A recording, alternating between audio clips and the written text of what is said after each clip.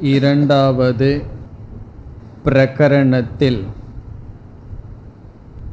மித்தியாத்துவம் நிலைநாட்டப்படுகின்றது.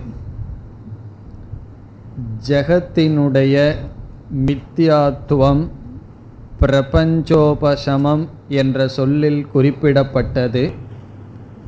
அந்த கருத்தானது தர்க்கத்தினுடைய துணை கொண்டு நிலைநாட்டப்படுகின்றது. என்று பார்த்தோம்.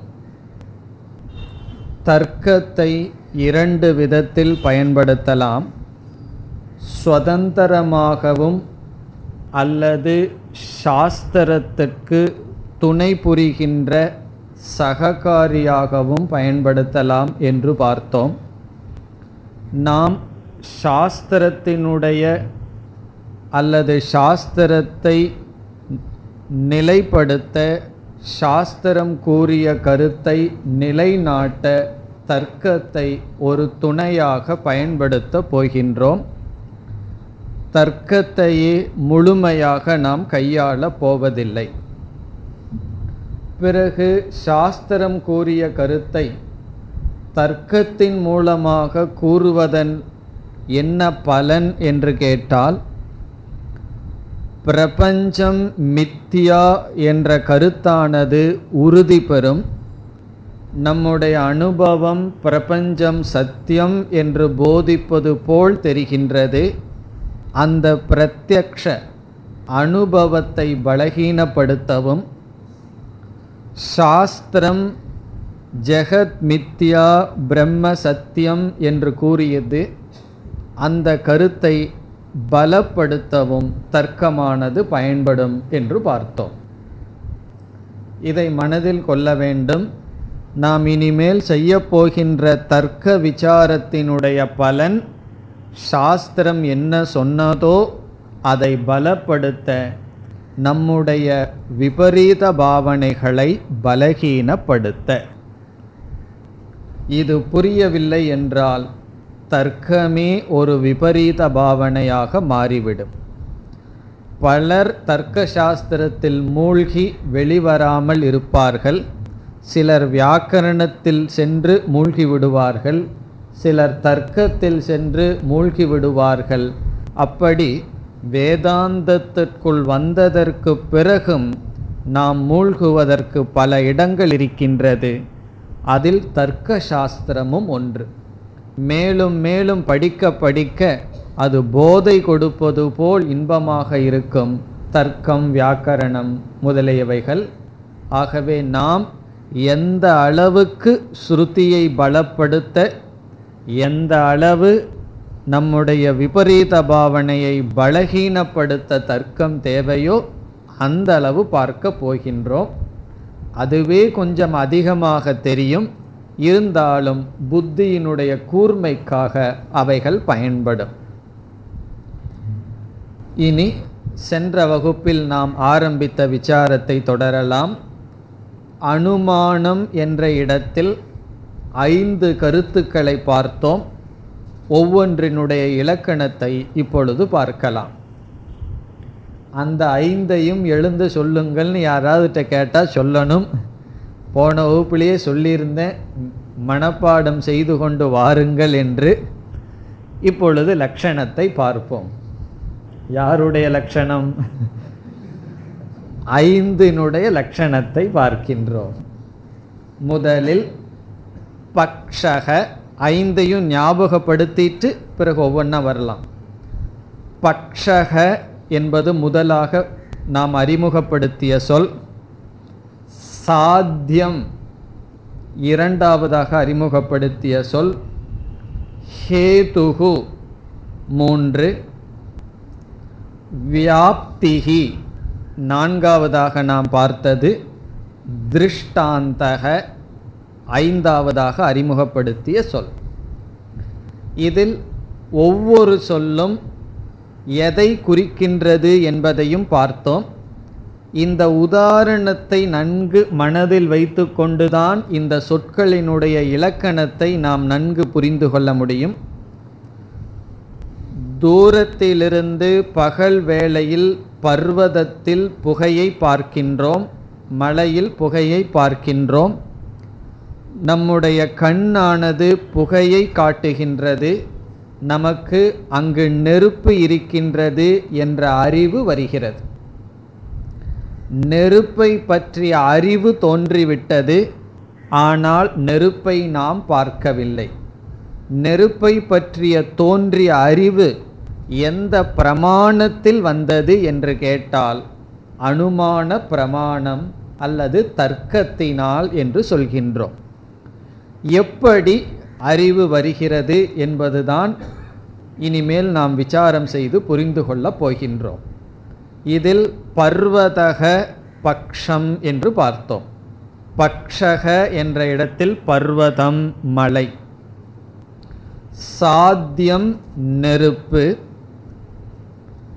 ஹேதுகு புகை. வியாப்திகி. எங்கெல்லாம் புகை இருக்கின்றதோ அங்கெல்லாம் நெருப்பிருக்கும் என்ற அறிவு. திருஷ்டாந்தக யாகசாலை. யாகசாலையில் புகையையும் நெருப்பையும் பார்த்திருக்கின்றோம். இதுவரை சென்ற வகுப்பில் பார்த்தோம். இனி நாம் ஒவ்வொரு சொல்லினுடைய இலக்கணத்தை பார்க்கலாம். பக்ஷக என்ற சொல்லினுடைய லட்சணம் எங்கு சாத்தியம் சந்தேகிக்கப்படுகிறதோ அந்த இடம் பக்ஷக பக்ஷம். எங்கு சாத்தியமானது சந்தேகிக்கப்படுகின்றதோ அந்த இடம் பக்ஷம். இதுக்கெல்லாம் சமஸ்கிருதத்திலே லட்சணம் இருக்கின்றது. அவைகளெல்லாம் அவசியமில்லை. தமிழ்லேயே ஒவ்வொரு லட்சணத்தையும் பார்த்து விடுவோம். எந்த இடத்தில் சாத்தியமானது சந்தேகிக்கப்படுகின்றதோ அந்த இடத்துக்கு பக்ஷம் என்று பெயர். இனி உதாரணத்தை பார்ப்போம். பர்வதத்தை மலையை பக்ஷம் என்று சொன்னோம். அந்த மலை என்ற இடம் மவுண்டன் என்பது சாத்தியம் என்றால் நெருப்பு. நெருப்ப சாத்தியம்னு பார்த்தோம். அந்த சாத்தியத்தை சந்தேகிக்கின்ற இடம் அங்கு இருக்கின்றது. நெருப்பு இருக்கின்றதா இல்லையா என்ற சந்தேகம் வர எந்த இடத்தில் நாம் எதை சாதிக்க விரும்புகின்றோமோ எதை பற்றிய அறிவை அடைய விரும்புகின்றோமோ அந்த இடம் சந்தேகத்திற்குரியதாக இருக்கின்றது. அந்த இடம் சந்தேகத்துக்குரியதல்ல அந்த இடத்தில் நம்முடைய அறிவு சந்தேகத்திற்குரியதாக இருக்கின்றது. காரணம் என்ன நேரடியாக அங்கு நாம் நெருப்பை பார்க்கவில்லை. இப்போ பக்ஷத்தினுடைய லட்சணம் எங்கு சாத்தியம் சந்தேகிக்கப்படுகிறதோ அது பக்ஷம். இனி இரண்டாவது சாத்தியம். இந்த சொல்லுக்கு லக்ஷணம் அவசியமில்லை. தெளிவான தெரிந்த சொல் சாத்தியம் என்றால் எது நிச்சயிக்கப்படுகின்றதோ. தீர்மானிக்கப்பட வேண்டிய விஷயம். தீர்மானிக்கப்பட வேண்டியது சமஸ்கிருதத்தில் சொன்னால் சாதனீயம். சாதனீயம் என்றால் நிச்சயம் செய்யப்பட வேண்டியது சாதிக்கப்பட வேண்டியது நிரூபிக்கப்பட வேண்டியது சாத்தியம். புகையை பார்க்கின்றோம். அதனால் நிரூபிக்கப்பட வேண்டியது என்ன? நெருப்பு. ஆகவே நெருப்பு சாத்தியமாகிறது. இப்போ நெருப்பானது நாம் கண்ணில் நேரடியாக பார்க்கவில்லை. கண்ணில் நேரடியாக பார்த்திருந்தால் நெருப்பு சாத்தியம் அல்ல கண்ணினால் நெருப்பு பார்க்கப்படவில்லை. புகைதான் பார்க்கப்பட்டது. ஆனால் அதிலிருந்து பார்க்கப்படாத நெருப்பானது நிரூபிக்கப்பட வேண்டும். ஆகவே சாத்தியம் என்று சொல்லப்படுவது நம்மால் பார்க்கப்படாத ஆனால் ஒரு புகை என்ற ஒன்றினுடைய துணை கொண்டு தீர்மானிக்கப்பட வேண்டியது சாத்தியம். இப்படிப்பட்ட சாத்தியம் எந்த இடத்துல நம்ம தீர்மானிக்கின்றோமோ அந்த இடத்துக்கு பக்ஷம் என்று பெயர். இப்போ பக்ஷத்தில் சாத்தியத்தை நாம் நிலைநாட்ட வேண்டும். ஒரு பட்சத்தை எடுத்துக்கொண்டோம். பட்சம்னு ஒரு அதிகரணம். இங்கு பர்வதம் மலை என்பதை எடுத்துக்கொண்டு அதில் நெருப்பு என்ற சாத்தியம் நம்மால் நிலைநாட்டப்பட வேண்டும். இனி மூன்றாவது ஹேதுகு ஹேதுகு என்பது புகை என்று பார்த்தோம். ஹேதுவுக்கு லட்சணம் ஒன்றை அறிய உதவும் சாதனம். ஒன்றை அறிய உதவும் சாதனம். இதற்கு வேறு சமஸ்கிருத சொல் தேவை என்றால் கரணம். கரணம் என்பது ஒரு சொல் இன்ஸ்ட்ருமெண்ட் மீன்ஸ் என்று சொல்வது. இதற்கு இனி ஒரு சமஸ்கிருத சொல் இருக்கின்றது லிங்கம். லிங்கம். லிங்கம்னா அடையாளம். அதாவது புகையானது நெருப்புக்கு அடையாளமாக இருக்கின்றது. நெருப்பை அடையாளம் காட்டி கொடுக்கின்றது. அதனால தான் இனி ஒரு சொல் சமஸ்கிருதத்தில் ஹேதுவுக்கு ஞாபகக. ஞாபகக என்பது இனி ஒரு சொல் ஹேதுவுக்கு. மூணு சொல்லு பார்த்துருக்கோம் ஹேதுவுக்கு. கரணம் லிங்கம் ஞாபகக. ஞாபகக என்றால் அறிவிப்பவன். புகை வந்து நமக்கு நெருப்பை அறிவிக்கின்றது. இங்கே நம்ம அமர்ந்திருக்கின்றோம். வெளியே வந்து ஒரு வாகனத்தினுடைய சப்தம் இருக்கு. அந்த சப்தம் என்ன செய்கின்றது? இது ஆட்டோ ரிக்ஷா தான் அப்படின்னு அந்த சப்தம் நமக்கு அறிவிக்கின்றது. அந்த சப்தத்தின் மூலமாக இந்த வாகனம்ங்கிற அறிவு அடையிறோம் அல்லவா அதுபோல புகை வந்து நெருப்பு என்ற அறிவை கொடுக்க கருவியாக இருக்கின்றது. நெருப்பை அறிவிக்கின்றது மறைமுகமாக. இப்போ இதெல்லாம் ஹேது இன்ஸ்ட்ருமெண்ட். இப்போ எந்த ஒன்று இனி ஒன்றை பற்றிய அறிவை கொடுக்க சாதனையாக இருக்கின்றதோ அது ஹேதுகு ஒன்றை பற்றிய அறிவை கொடுக்க உதவும் கருவி ஹேதுகு. இனி நம்ம உதாரணத்தில் பார்த்தோம்னா புகையானது நெருப்பை பற்றிய அறிவை கொடுக்க கருவியாக இருக்கின்றது. இனி அடுத்தது வியாப்திகி. இது ஒரு ரொம்ப முக்கியமான சொல். புரிந்து கொள்ள வேண்டிய சொல். வியாப்திகி முதலில் இலக்கணத்தை சொல்லிவிட்டு லக்ஷணத்தை சொல்லிட்டு பிறகு விளக்கத்திற்கு வரலாம். இதனுடைய லக்ஷணம் டெஃபனிஷன் ஹேதுவுக்கும் சாத்தியத்திற்கும் உள்ள பிரியாத சம்பந்தம். இதுதான் இதனுடைய லட்சணம் ஹேதுவுக்கும் சாத்தியத்திற்கும் உள்ள பிரியாத சம்பந்தம். இதை சமஸ்கிருதத்தில் எப்படி சொல்வார்கள்? ஹேது சாத்திய சாகச்சரிய நியமக. ஹேது சாத்திய சாகச்சரிய நியமக. சாகச்சரியம் என்றால் எப்பொழுதும் சேர்ந்திருத்தல் என்ற நியமம்.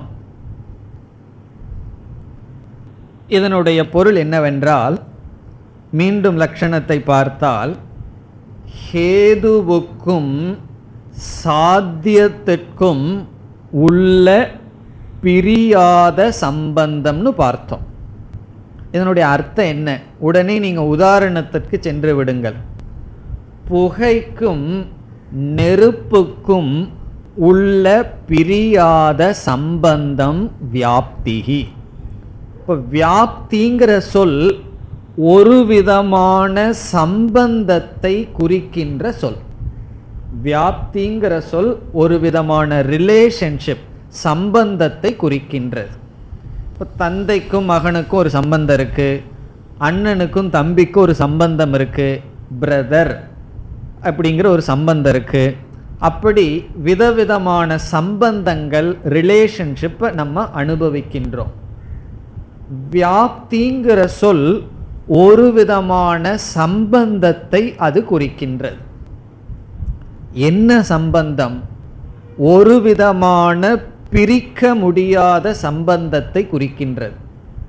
அந்த சம்பந்தத்தை வந்து நம்ம பிரேக் பண்ணவே முடியாது பிரிக்கவே முடியாது. இப்போ வந்து ஒருவர் இருக்கார் அவரோட நான் வந்து ஃப்ரெண்ட்ஷிப் வச்சுருக்கேன் நட்புங்கிற சம்பந்தத்தை வச்சுக்கிறேன். எனக்கு அவர் பிடிக்கலின்னு வச்சுக்கோமே அந்த சம்பந்தத்தை நான் விட்டுறலாம். இனிமேல் நீ என்னோட பேசாதேன்னு சொன்னால் அந்த நட்புங்கிற சம்பந்தம் பகைமைங்கிற சம்பந்தமாக மாறி போயிடுது சம்பந்தம் வந்து பிரிக்கக்கூடியது மாறக்கூடியது. பிறகு கொஞ்ச நாளைக்கு அப்புறம் மீண்டும் நட்புவாக மாறலாம். ஆனால் தாய்க்கும் மகனுக்குள்ள சம்பந்தத்தை பிரிக்க முடியுமோ? அது என்னைக்கும் விரும்பினாலும் விரும்பாட்டியும் அந்த சம்பந்தம் அப்படித்தான் இருக்கும். அப்படி ஒரு விதமான சம்பந்த விசேஷந்தான் வியாப்தி. இனி யாரு ரெண்டு பேர்த்துக்கு சம்பந்தம்? என்றால் ஒரு பொருளுக்கும் இனியொரு பொருளுக்கும் உள்ள சம்பந்தம். எப்படிப்பட்ட சம்பந்தம் என்றால் எப்பொழுதெல்லாம் ஒரு பொருள் இருக்கின்றதோ அப்பொழுதெல்லாம் இனியொரு பொருளும் இருந்துதான் தீரும் என்ற சம்பந்தம். இப்போ ஏ பின்னு வச்சுக்கோமே எப்பொழுதெல்லாம் ஏ இருக்கோ அப்பொழுதெல்லாம் பி இருந்து தான் ஆகணும். இந்த இடத்துல ஏங்கிறது யார்? புகை. பிங்கிறது யார்? நெருப்பு. எப்பொழுதெல்லாம் புகை இருக்கோ அப்பொழுதெல்லாம் கண்டிப்பா நெருப்பு புகையுடன் இருக்கும் என்ற விதிவிலக்கில்லாத பிரிக்க முடியாத சம்பந்தம் வியாப்தி. அதனால தான் எத்திர எத்திர தூமக தத்திர தத்திர வன்னிகின்னு சொல்றது. இந்த சம்பந்தத்தை சமஸ்கிருதத்தில் சொல்ற விதம் எங்கெல்லாம் புகை இருக்கிறதோ அங்கெல்லாம் நெருப்பு இருக்கும். எத்திர எத்திர எங்கெங்கெல்லாம்? தூமக புகையோ தத்திர தத்திர அங்கெல்லாம்? வன்னிகி வன்னினா நெருப்பு அக்னிகி. இப்படி இந்த வியாப்தியை நம்ம சொல்ற விதம் எத்திர தத்திர எங்கெல்லாம் இதோ அங்கெல்லாம் அதுன்னு சொல்றோம்.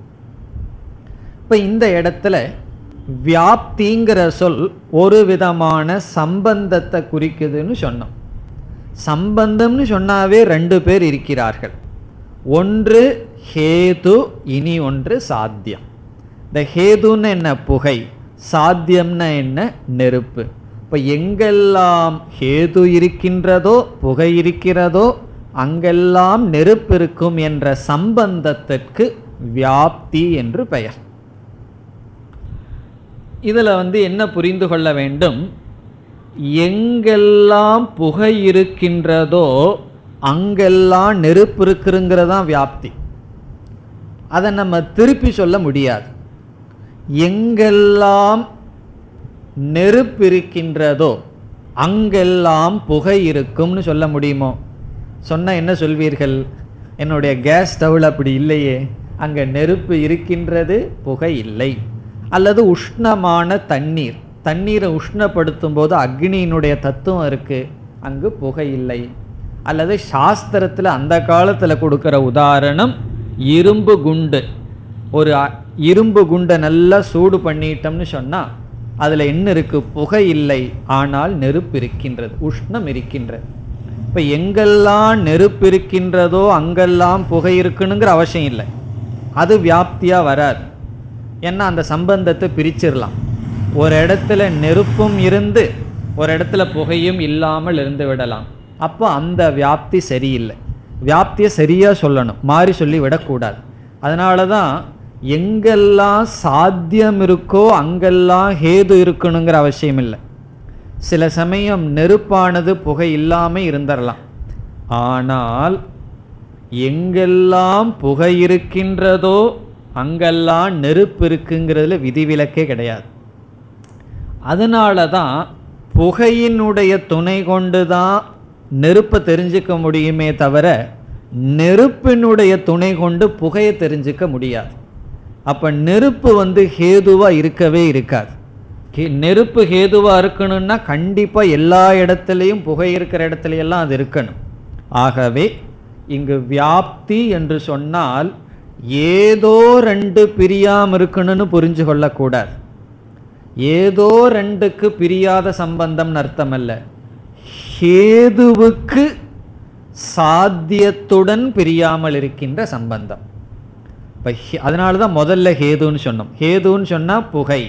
கொஞ்ச நாள் இந்த ஹேது சாத்தியம் பக்ஷங்கிறத சொல்லிகிட்டே வந்தால் பதிந்து விடும். இப்போ ஹேதுன்னு சொன்னால் புகை.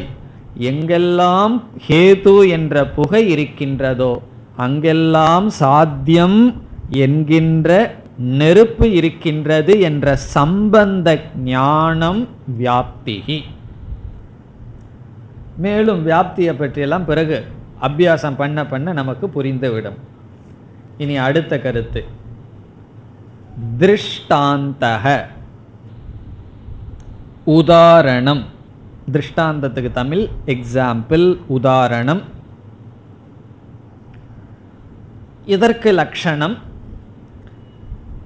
அனைவராலும் ஏற்றுக்கொள்ளக்கூடிய விஷயம். அனைவராலும் ஏற்றுக்கொள்ளக்கூடிய விஷயம். ஒரு உதாரணத்தை சொன்னா அந்த உதாரணத்தை இரு பட்சத்தை சார்ந்தவர்களும் ஏற்றுக்கொள்ளக்கூடியதாக இருக்க வேண்டும். இப்போ அனைவராலும் சொன்னால் நம்ம யாரை சொல்கிறோம் அனுமானத்தின் மூலமாக நம்ம ஒரு கருத்தை நிலைநாட்ட விரும்புகிறோம் அதை ஒத்துக்காதவன் ஒருத்தன் இருக்கான். அவனும் அவனிடம் இந்த உண்மையை சொல்ல விரும்புகிறோம் அதற்காக நாம் ஒரு உதாரணம் கொடுக்குறோம். அந்த உதாரணத்தை அவனும் ஏற்றுக்கணும் நாமும் ஏற்றுக்கணும் இப்போ வாதி பிரதிவாதி ரெண்டு பேருக்கும் சமம். ஏற்றுக்கொள்ளக்கூடிய இடம்தான் உதாரணம். நம்ம ஏதோ ஒரு உதாரணத்தை சொல்லி அவன் ஏற்றுக்கொள்ளவில்லைன்னு சொன்னால் அவன் ஏற்றுக்கிற மாதிரி உதாரணத்தை நாம் சொல்லி ஆகணும். இப்போ வாதி பிரதிவாதி அல்லது அனைவராலும் ஏற்றுக்கொள்ளக்கூடிய விஷயம். அதாவது அந்த இடம் வந்து காமனாக இருக்கணும். எல்லாராலும் ஏற்றுக்கொள்ளக்கூடியதாக இருக்கணும். இது திருஷ்டாந்தம். இப்போ அனுமானம் என்று சொன்னால் இந்த ஐந்தும் சேர்ந்து வருகின்ற பகுதி. இந்த ஐந்தினுடைய பங்கும் முழுமையாக இருக்கின்றது. இந்த ஐந்து சேர்ந்து ஒரு ஞானம் வருதே இந்த ஐந்து பகுதிகளும் சேர்ந்து அதனால ஒரு ஞானம் வந்தா அந்த ஞானத்திற்கு பிரமாணம் அனுமான பிரமாணம்னு சொல்கிறோம் இப்போ அனுமானம் என்ற சொல்லுக்கு லட்சணம் இனிமேல் பார்க்க போகிறோம் பிரத்யக்ஷங்கிற சொல்லுக்கு அர்த்தம் உங்களுக்கு தெரியும். ஐந்து இந்திரியங்கள் வழியாக நேரடியாக ஒரு பொருளை பார்த்து அடைகின்ற அறிவுக்கு கருவியாக இருத்தல். இப்போ பிரத்யக்ஷம் என்பது நேரடியாக அறிவை கொடுக்கும் ஒரு கருவி ஒரு பிரமாணம். பிரத்யக்ஷங்கிறது ஒரு பிரமாணம். இப்போ திடீர்னு பிரமாணம்ங்கிற சொல்லுக்கு அர்த்தத்தை மறந்துட்டேன்னா கஷ்டமாக போயிடும் பிரமாணம்னா என்ன? அறிவை கொடுக்கும் கருவி. அதை மறந்துடக்கூடாது இந்த ஸ்டேஜில் உங்களுக்கு இதெல்லாம் சொல்லக்கூடாது. சொன்னால் அது அவமானப்படுத்துகிற மாதிரி. இத்தனை வருஷம் எங்களுக்கு சொல்லி கொடுத்துட்டு இதுக்கெல்லாம் அர்த்தம் சொல்கிறீங்களான்னு நீங்கள் நினைக்கலாம். இப்போ பிரமாணம் என்றால் அறிவை கொடுக்கும் கருவி. பிரத்யக்ஷ பிரமாணம் என்றால் ஐந்து இந்திரியங்கள் அறிவை கொடுக்கும் கருவி. இனி அனுமானம் என்பது ஒரு விதமான பிரமாணம். அனுமானம் என்ற சொல் அறிவை கொடுக்கும் கருவி. எப்படின்னா இந்த அனுமானம்ங்கிறதுக்குள்ள இந்த அஞ்சு நம்ம சொன்னது இருக்கு. இந்த அஞ்சினுடைய துணை கொண்டு ஒரு ஞானத்தை அடைஞ்சோம்னா அந்த ஞானத்தை நாம் அனுமான பிரமாணத்தின் மூலமாக அடைந்தோம் அர்த்தம். நாம் இங்கே சொன்ன அஞ்சு கூறு ஃபைவ் ஃபேக்டர் இந்த அஞ்சு கூறினுடைய துணை கொண்டு ஒரு அறிவை நாம் அடைந்தால் அந்த அறிவு அனுமான பிரமாணத்தினால் அடையப்பட்டது என்று சொல்லப்படுகிறது. இனி அந்த அறிவு எப்படி அடையப்படுகிறது?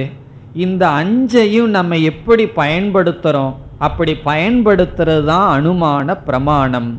ஆகவே நாம் இனி அடுத்த லட்சணம் பார்க்க போகின்ற சொல் அனுமானம் என்ற சொல்லுக்கு லட்சணம். இனி அனுமானம் என்ற சொல்லுக்கு இலக்கணத்தை இப்பொழுது பார்க்கின்றோம். அனுமானம். முதல்ல லட்சணத்தை கூறுகின்றேன் பிறகு விளக்கம் பார்க்கலாம். அனுமானத்தினுடைய லட்சணம் வியாப்தியுடன் கூடிய வியாப்தியுடன் கூடிய ஹேதுவை வியாப்தியுடன் கூடிய ஹேதுவை பக்ஷத்தில் பார்த்தல்.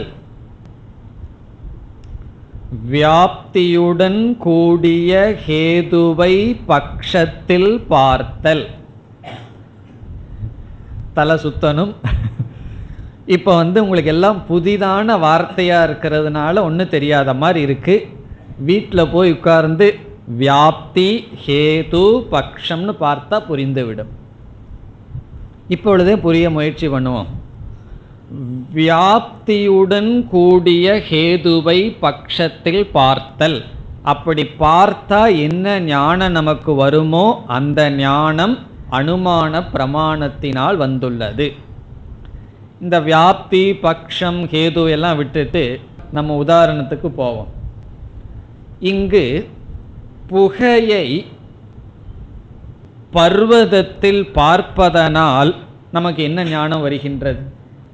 புகையை மலையில் பார்க்கறதுனால நமக்கு என்ன கிடைக்குது?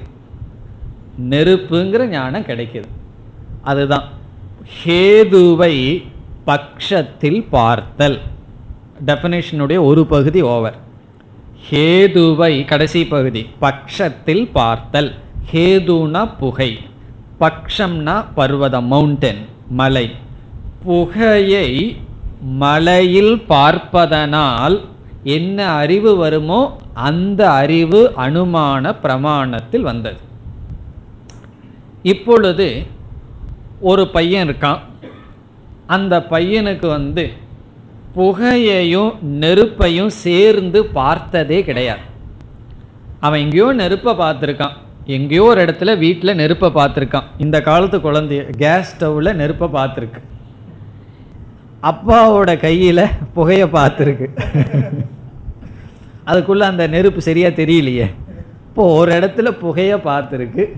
எங்கேயோ புகையை பார்த்துருக்கு. ஒரு இடத்த தனியாக நெருப்பை பார்த்துருக்கு. இந்த ரெண்டும் சேர்ந்தே பார்த்ததில்லை. அவனிடம் அதோ பார் அங்கு புகை இருக்கிறதுன்னு சொன்னால் அவன் என்ன பண்ணியிருக்கான்? ஹேதுவை பட்சத்தில் பார்த்துட்டான். ஹேதுனா புகையை பர்வதத்தில் பார்த்துருக்கான். ஆனால் அவனால் அங்கு நெருப்பு இருக்கின்றதுங்கிற அறிவு அடைய முடியுமோ? கண்டிப்பாக முடியாது. காரணம் அவனுக்கு வந்து எங்கெல்லாம் புகை இருக்கின்றதோ அங்கு நெருப்பிருந்து ஆக வேண்டும்ங்கிற அறிவே அடையவில்லை அவனால். ஏன்னா சின்ன பையன் அவன் புகையை எங்கேயோ பார்த்துருக்கான். பிறகு நெருப்பை தனியாக பார்த்துருக்கான் நெருப்புக்கும் புகைக்கும் உள்ள சம்பந்த ஞானத்தை அவன் அடையவே இல்லை. அப்போ வெறும் புகையை மட்டும் வெறும் ஹேதுவை மட்டும் பட்சத்தில் பார்த்தான்னா அவனுக்கு வந்து நெருப்புங்கிற சாத்திய ஞானம் வராது. பிறகு எப்படிப்பட்ட ஞானத்துடன் அவன் வந்து புகையை பார்க்கணும்?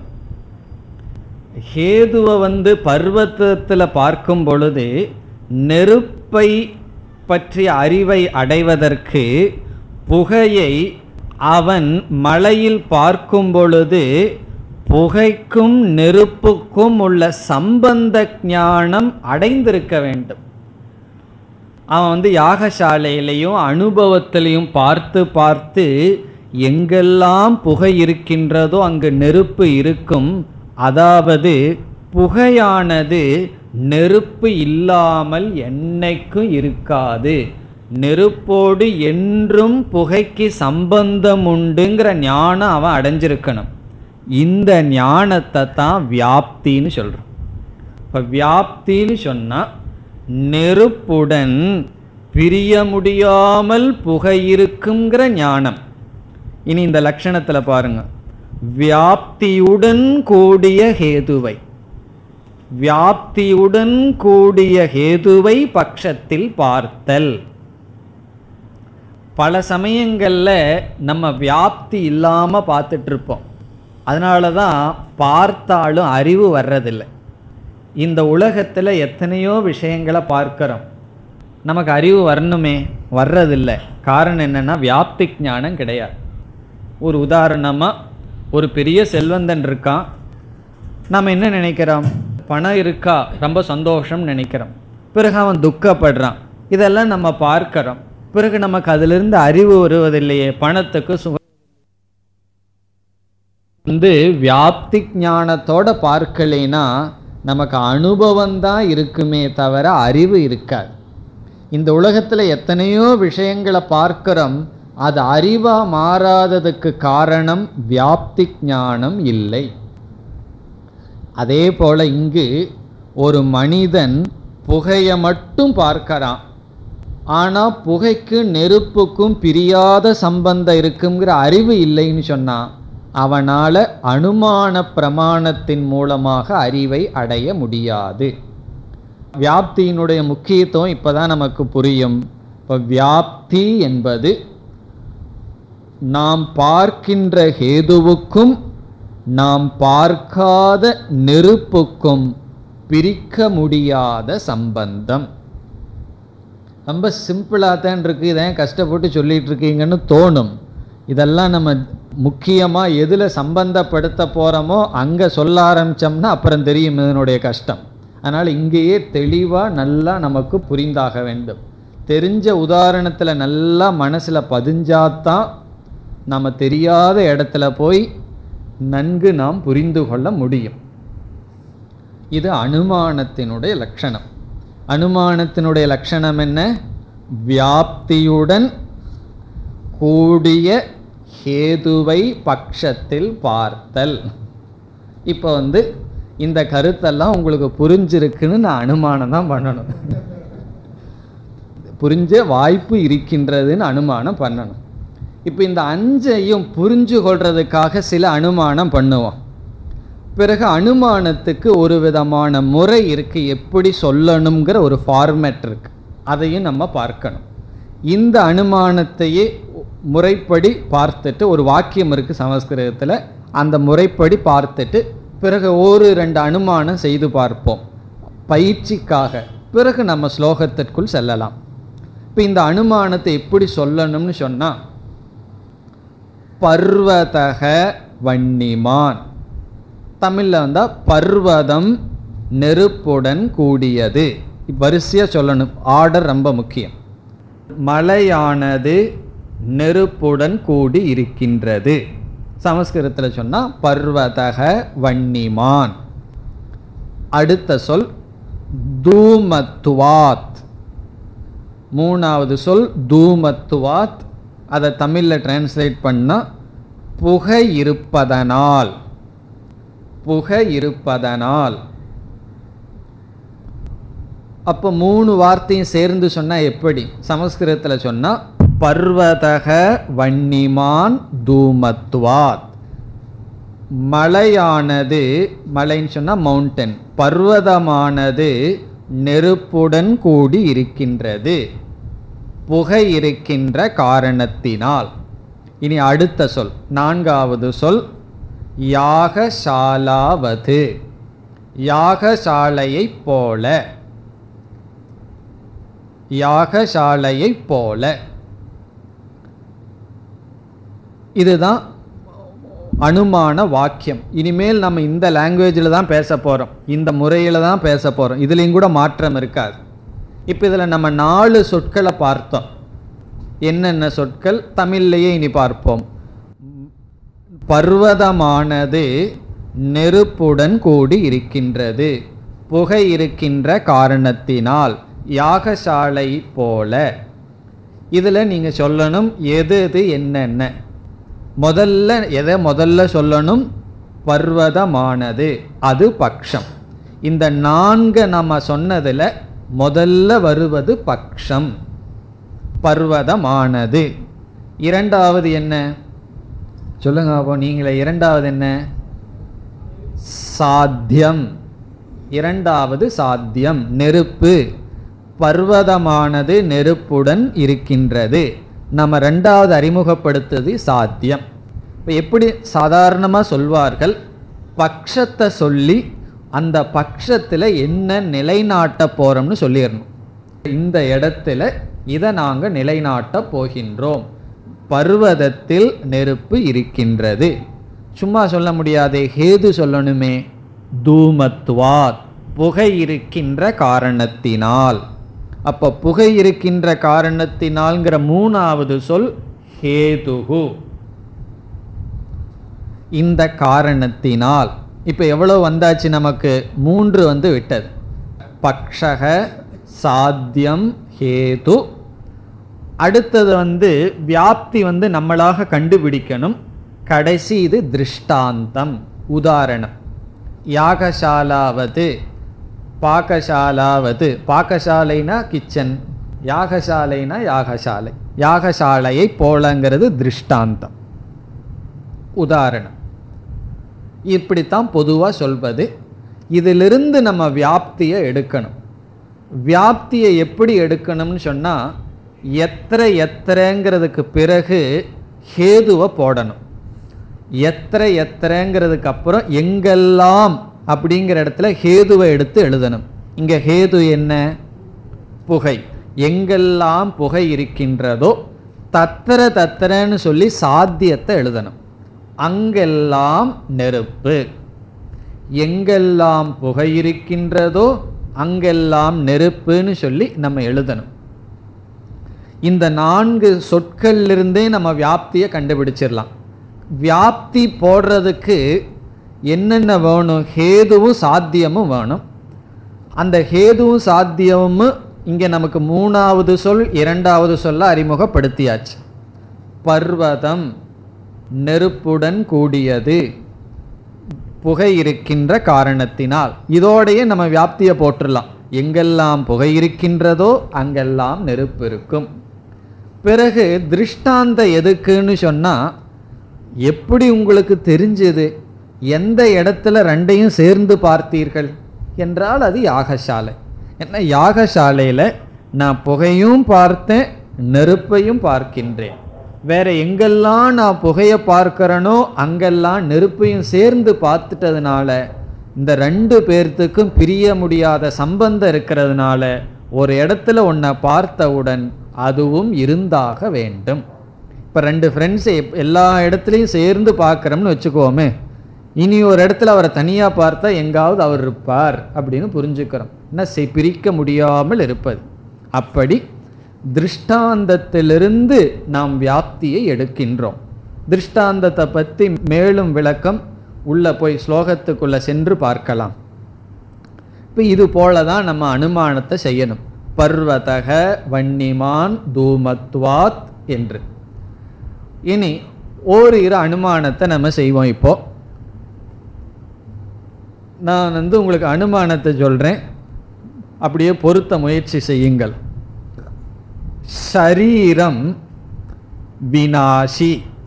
தமிழில் சொன்னால் உடல் அழிவுக்கு உட்பட்டது. நம்முடைய உடல் அழிவுக்கு உட்பட்டது.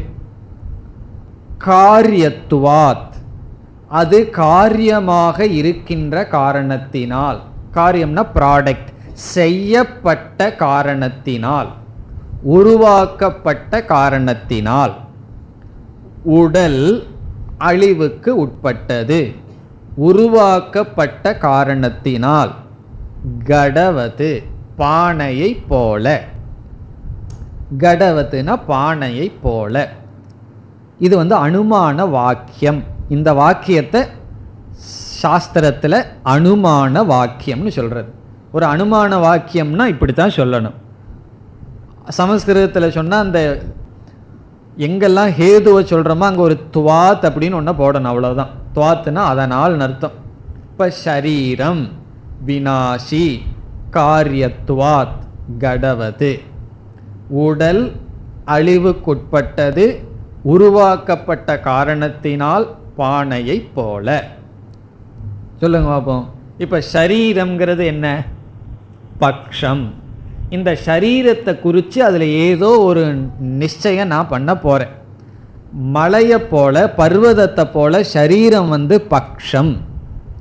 இந்த சரீரத்தை குறித்து நான் ஒன்று சொல்ல போகிறேன் இதில் வந்து ஏதோ ஒரு சாத்தியத்தை நிலைநாட்ட போகின்றேன்.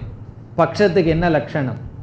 எந்த இடத்தில் சாத்தியமானது சந்தேகிக்கப்படுகிறதோ அந்த இடம் பக்ஷம். அப்போ இந்த சரீரத்தில் ஏதோ ஒரு சாத்தியத்தை நான் நிலைநாட்ட போகிறேன் என்ன சாத்தியம்? வினாஷி அது அழிவுக்கு உட்பட்டது. அது நம்முடைய சாத்தியம். இந்த சரீரத்தில் அழிவுக்கு உட்பட்டது அப்படிங்கிறத நான் நிலைநாட்ட போகின்றேன். இதை ஏன் நிலைநாட்டணும்? இப்போ பார்த்தா அழிகிற மாதிரி தெரியலையே. ஏன்னா எப்போ இருக்கிற மாதிரி தெரியுது. அதனால் நான் வந்து இந்த சரீரத்தை குறித்து வினாஷி அழியக்கூடியது. அது என்ன அழியக்கூடியதுங்கிறது? சாத்தியம். சும்மா அழியக்கூடியதுன்னு சொல்லலாமா? ஏதோ ஒன்றை சொல்லி அழியக்கூடியதுன்னு சொன்னான் அப்போ என்ன சொல்லுவான்? இனி ஒருத்தன் ஆத்மா அவினாஷின்னு சொல்லுவான். ஆத்மா அழியக்கூடியதுன்னு சொல்லலாமே. காரணம் சொல்லி ஆகணுமே. என்ன காரணம்? என்ன காரணத்தினால் இது அழியக்கூடியது? காரியத்துவாத் உருவாக்கப்பட்ட காரணத்தினால். காரியம்னா ப்ராடக்ட் எதெல்லாம் தோன்றி உள்ளதோ எதெல்லாம் உருவாக்கப்பட்டதோ அதெல்லாம் அழியும். உங்களுக்கு எப்படி தெரியுதுன்னா கடவது பானையை போல. இப்போ இங்கே என்ன வியாப்தி? உருவாக்கப்பட்டதனால்ங்கிறது ஹேது. எங்கெல்லாம் உருவாக்கப்படுதல் என்று இருக்கிறதோ அங்கெல்லாம் அழிவுக்கு உட்பட்டது. அதெல்லாம் அழியும். இப்போ ஹேதுவை முதல்ல போடணும். எத்திர எத்திர காரியத்துவம் தத்திர தத்திர வினாசித்துவம் எங்கெல்லாம் தோன்றுதல் உருவாக்கப்படுதல் என்று இருக்கிறதோ அங்கெல்லாம் அழியக்கூடியது. நமக்கு சாத்தியம் என்ன? இங்க என்ன சாத்தியம்? அழியக்கூடியது. ஹேது என்ன? உருவாக்கப்படுவது. அப்போ சாத்தியத்தை ஹேதுவின் மூலமாக நாம் நிலைநாட்டுகின்றோம். பிறகு எந்த இடத்துல இதை நீங்கள் பார்த்துருக்கீர்கள்? ஒன்று உருவாக்கப்பட்டால் அது அழியப்படுங்கிறது எந்த இடம்? அதுக்கு ஒரு உதாரணம் சொல்லணுமே. கடவது. நான் பானையை பார்த்தேன். பானை உருவாக்கப்பட்டது பிறகு அழிக்கப்படும். அப்படி எங்கெல்லாம் ஒன்று துவங்கப்பட்டதோ அதனால தான் எல்லாத்துலேயும் எக்ஸ்பைரி டேட்னு ஒன்று இருக்கும். ஒன்று மேனுஃபேக்சர் பண்ணோம்னா கூடையே என்ன போடணும்? எக்ஸ்பைரி டேட் போட்டு தான் ஆகணும். நமக்கு மற்றவங்க போடுவார்கள். நம்ம ஏதாவது பண்ணோம்னு சொன்னால் அதை உடனே நம்ம போட்டுருவோம். இது இந்த காலத்தில் அழியும். அதனுடைய லைஃப் இவ்வளவுதான்னு சொல்லி. இது வந்து அனுமானம். இப்போ ஷரீரம் வினாஷி காரியத்வாத் கடவத். இதில் வியாப்தியை நம்ம கண்டுபிடிக்கணும். எப்படி? எத்தனை எத்தனை காரியத்துவம் தத்திர தத்திர வினாசித்துவம் எங்கெல்லாம் காரியத்துவம் இருக்கின்றதோ அங்கெல்லாம் அழியும் என்ற தன்மை இருக்கின்றது. இப்படி பல அனுமானங்கள் இருக்கின்றது. அந்த அனுமானங்கள்ல கடைசியில் என்ன அறிவு அடைவோம்? ஒரு பொருளை பார்க்காட்டியும் கூட நாம் அந்த அதை பற்றி அறிவை அடைந்து விடுவோம். இப்போ இந்த உடல் வந்து அழிஞ்சிரும் இறந்து போகுதுங்கிற அறிவு இறக்கிறதுக்கு முன்னாடியே வந்தாச்சே. இந்த உடல் அழிகிறதுக்கு முன்னாடி எப்படி வந்ததுன்னா அனுமானத்தினால் வந்தது. காரணம் என்ன? எத்தனையோ அழியிற உடலை நம்ம பார்த்தோம். இவ்வளவு வருஷமா அழியிற உடலை பார்த்து எனக்கு இந்த அறிவு வரலையேன்னா வியாப்தி இல்லைன்னு அர்த்தம். அதான் வியாப்தியினுடைய முக்கியத்துவம். வியாப்தி இல்லாமல் நம்ம உலகத்தை பார்த்துட்டு இருக்கிறதுனால தான் நமக்கு வயசாகுதே தவிர குரோத்து கிடையாது. ஏஜுங்கிறது வேற குரோத்துங்கிறது வேற. அந்த காரிய காரண சம்பந்தம். இது நடந்தா இது நடக்கும். இதுதான் அறிவு. இப்போ இந்த அனுமானம் உலகத்தில் வந்து நம்ம பழக பழக வாழ வாழ நமக்கு எப்போ அறிவு வரணும்? ஒவ்வொரு நிகழ்ச்சிகளை பார்த்து நமக்கு எப்போ அறிவு வரணும்னு சொன்னால் வியாப்தி ஞானம் நமக்கு தேவை. இப்போ வியாப்தி ஞானத்தோட ஹேதுவை பார்த்தோம்னு சொன்னால் பார்க்காத சாத்தியத்தை நாம் நிச்சயம் செய்யலாம். இந்த உடல் அழிவதற்கு முன்னாடியே இது அழியக்கூடியதுங்கிற ஞானம் எப்போ வரும்? இது உருவாக்கப்பட்டதுங்கிற ஹேதுவை மட்டும் பார்த்தா போதாது. ஏன்னா இது உருவாக்கப்பட்டது நமக்கு தெரியுமே. பர்த்டே எல்லாம் கொண்டாடுறதுனுடைய அர்த்தம் என்ன? இது உருவாக்கப்பட்டது. ஆனால் எப்படி இந்த ஹேதுவை பார்க்கணும்? எதெல்லாம் உருவாக்கப்பட்டதோ அதெல்லாம் அழியக்கூடியது. பர்த்டேவில் இதை ஞாபகம் வச்சோம்னா என்ன ஆகும்னா? எப்பெல்லாம் நம்ம உருவாக்கப்பட்டமோ அப்பெல்லாம் அழிவோம்னு நினச்சோம்னா மிட்டாய் கொடுக்க மாட்டோம் பேசாமல் இருப்போம். இந்த வியாப்தி இல்லாததுனால தான் செலிப்ரேட் பண்ணிகிட்டு இருக்கோம் நம்ம. காரணம் என்ன? இந்த வியாப்தி இருந்தால் உண்மை தெரிஞ்சிருமே. ஞானம் வந்தால் உண்மை தெரிஞ்சிருமே. இப்போ இந்த வியாப்தியினுடைய துணை கொண்டு அப்போ அனுமானம்னா என்ன? எல்லாம் பேசியாச்சு கடைசியில் என்னன்னா அனுமானம் என்றால் வியாப்தியுடன் கூடிய ஞானத்துடன் வியாப்தியுடன் ஹேதுவை பக்ஷத்தில் பார்த்தல். எங்கெல்லாம் உருவாக்கப்படுகிறதோ அங்கெல்லாம் அழியப்படும் என்ற ஞானத்துடன் ஷரீரத்தில் அழிவு என்ற தன்மையை பார்த்தல். அழிவு என்பதை உணர்தல். இப்படி பலவிதமான அனுமானங்கள் போட்டுக்கொண்டே போகலாம். இப்படியே பல அனுமானங்கள் நம்ம செய்ய போகிறோம் செய்ய செய்ய நமக்கு பழக்கம் ஆயிரும் இனிமேல் நம்ம வந்து இந்த அனுமானத்தில் தான் ஊர்ந்து போக போகிறோம் இந்த நாளும் வரிசையாக தான் பார்க்க போகிறோம் முதல்ல பக்ஷத்தை சொல்லி அடுத்தது சாத்தியத்தை சொல்லி அப்புறம் ஹேதுவை சொல்லி திருஷ்டாந்தத்தை சொல்லுவோம். பிறகு ஹேதுவையும் சாத்தியத்தையும் வச்சு வியாப்தியை எடுக்கணும். இந்த வியாப்தி எடுக்கிற இடம் திருஷ்டாந்தம். இதுதான் அனுமானம்.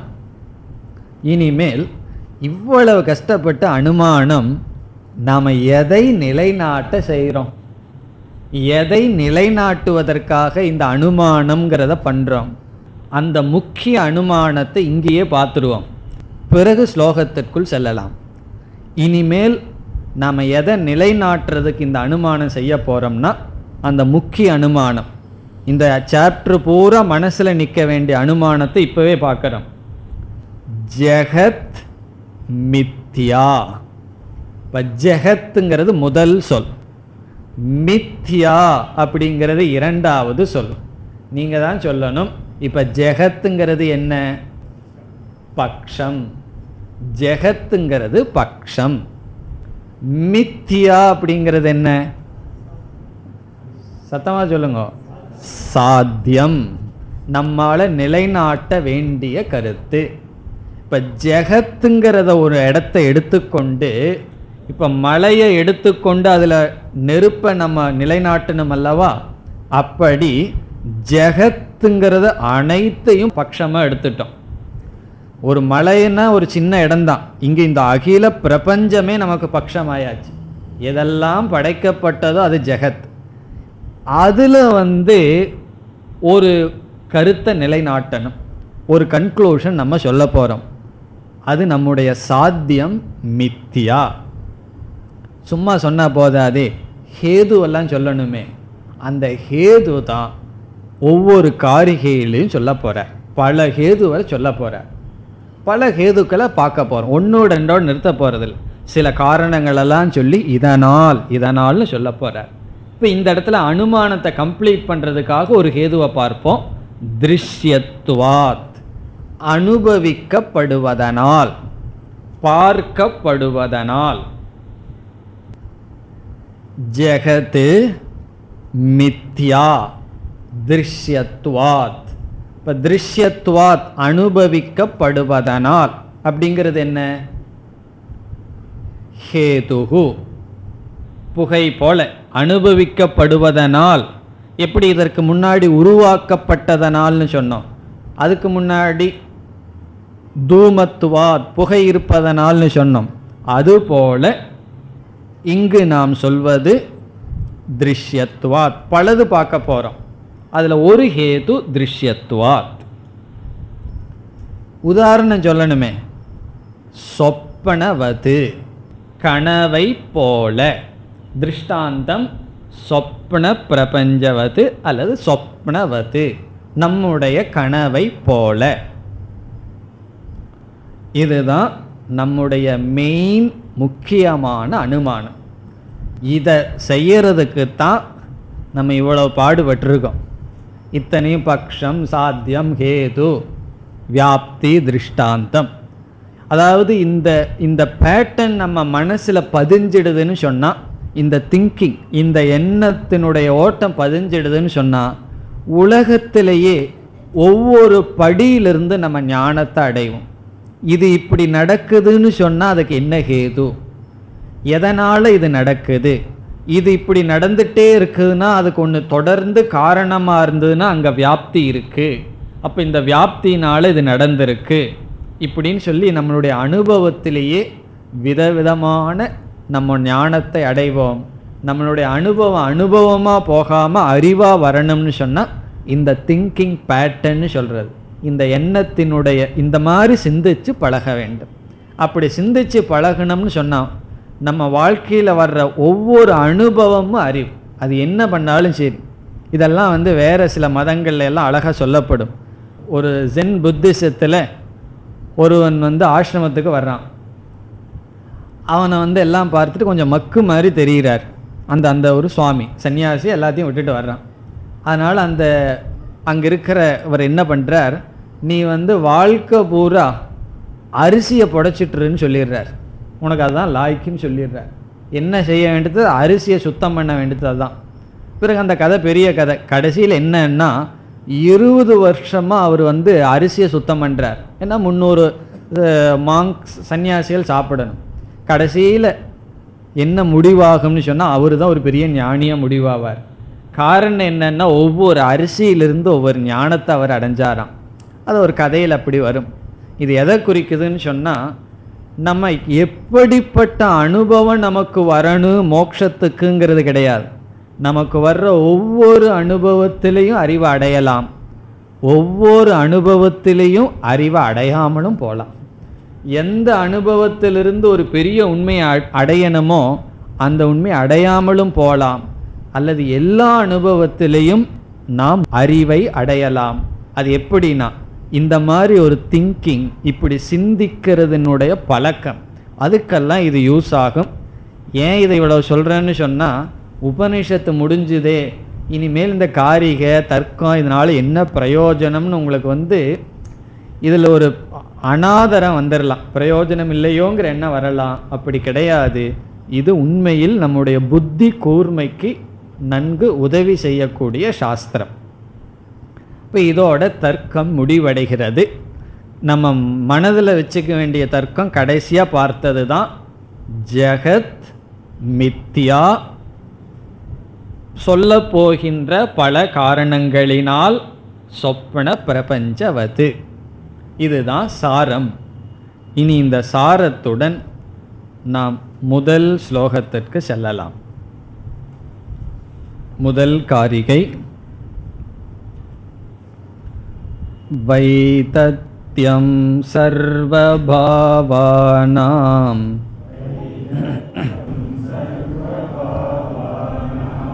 स्वप्न आहुर्मनीषिणः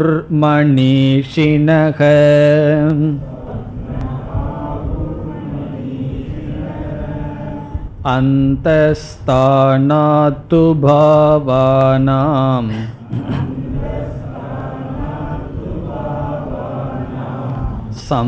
संवृदत्वेन हेतुना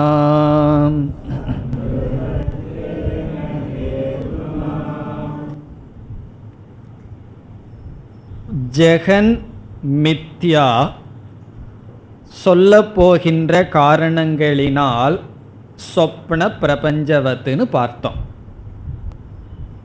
இதில் சிலர் சொப்பனத்தை மித்யா என்று ஏற்றுக்கொள்வதில்லை. நாம் ஓர் அனுமானத்தை கொடுக்கின்றோம்.